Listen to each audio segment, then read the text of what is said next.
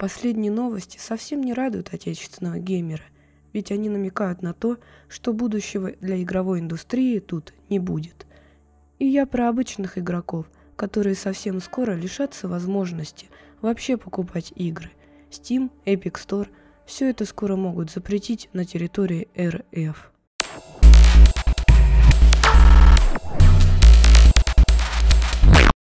Всем привет, меня зовут Яна, вы попали на канал Леди Вескер, и сегодня мы поговорим о непростой теме, которая касается тех, кто любит коллекционировать и покупать видеоигры в свою библиотеку Steam или Epic Store.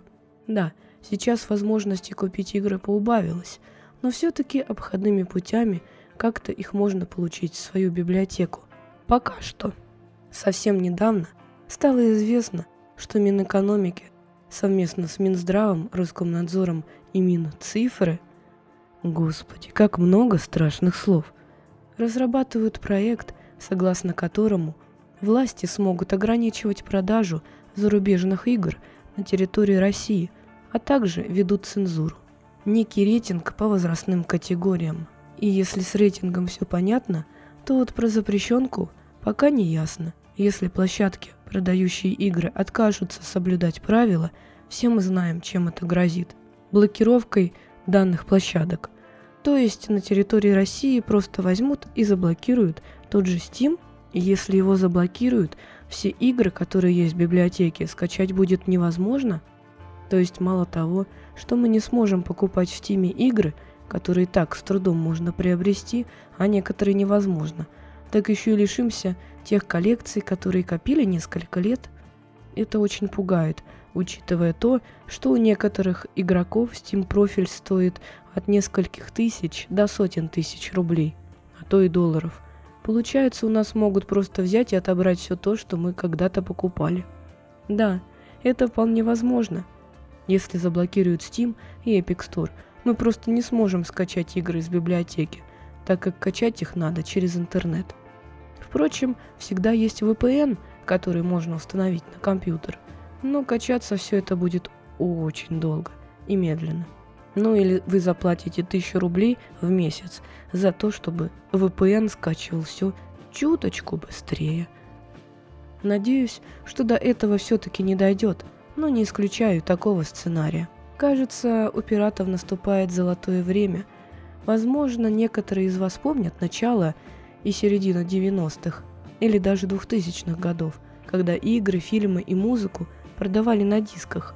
Люди вряд ли тогда задумывались, лицензии это или нет. Они просто покупали то, что могли. А коробки от тех дисков пахли чем-то паленым. Так вот, барыги, настало ваше время. Конечно, я не думаю, что будут продавать, как тогда, диски. Сейчас все происходит иначе. Игры будут продавать в интернетах – или проще, выкладывать на торрентах совершенно бесплатно. Получается, пираты наше спасение? Я, конечно, осуждаю пиратскую деятельность, но когда у игроков не останется выбора, играть-то хочется. Они идут туда, где можно еще поиграть. А где можно поиграть? Конечно же, компьютерные клубы. Похоже, мы возвращаемся в 90-е годы на новый лад. Ну, кто там скучал, ностальгировал по этому времени? Что теперь скажете? Люди, не имея возможности купить хорошую технику, которая тянула бы игры, ходили в компьютерные клубы. Ну и помимо этого, атмосфера в данных заведениях, по словам завсегдатаев, была потрясающей. Играли в игры, ожидали своей очереди и смотрели, как играют другие. Находили лучших друзей именно в таких клубах. Раньше компьютерные клубы были распространены и популярны. Сейчас это явление редкое, хотя тоже существует. Но в основном ведут такие организации серьезные дяди, а не все, кто хочет. А вы посещали когда-нибудь компьютерные клубы? Делитесь своими впечатлениями, как вам там было. Время, в которое мы живем, не самое лучшее. Это факт. Хотя год назад, если бы один человек... в общем, выживаем теперь как можем, господа геймеры. Конечно, стало тяжко найти и купить игру – Легче вновь ее спиратить. Осуждаю, кстати. Но пока еще есть пути и лазейки. И, думаю, они будут. Люди продолжат их искать, потому что геймеров в угол загнать очень трудно. И я в это верю.